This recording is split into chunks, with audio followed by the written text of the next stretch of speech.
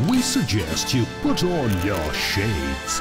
Cause we're dazzling you with some serious star power. Stand by for the year's most awaited cinematic event. Catch daily updates from the red carpet and the best movies ever showcased at the Toronto International Film Festival. It's exclusive.